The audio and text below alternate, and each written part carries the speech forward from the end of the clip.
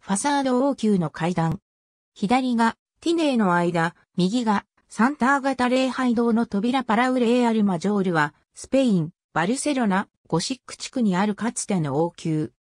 バルセロナ博、カタルーニャ・アラゴン連合王国時代に王の住居として使われた。4つの部分に分けられる。パラウレーアルマジョールの名は1116年に初めて現れる。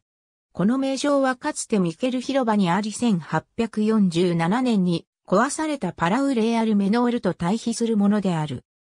11世紀半ば、宮殿はすぐ隣にあるロマネスク様式のサンタエウラリア大聖堂から拡張されており、外階段に広がる三遊広場では、当時まだ庁舎を持っていなかった燻製ダさんがここで会合を開いていた。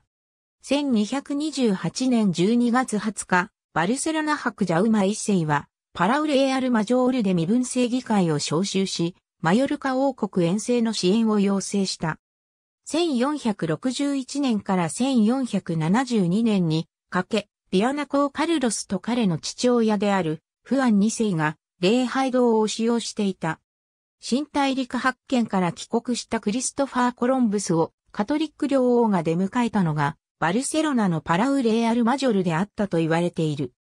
スペイン継承戦争でブルボン家が勝利し、カタルーニャの政治的地位が奪われると王家の行政上の役割をパラウレーアルマジョールは失い、1718年にフェリペ5世は建物を要塞建設でリベラ地区を立ち退いたクララ会の修道女たちに与えた。ありがとうございます。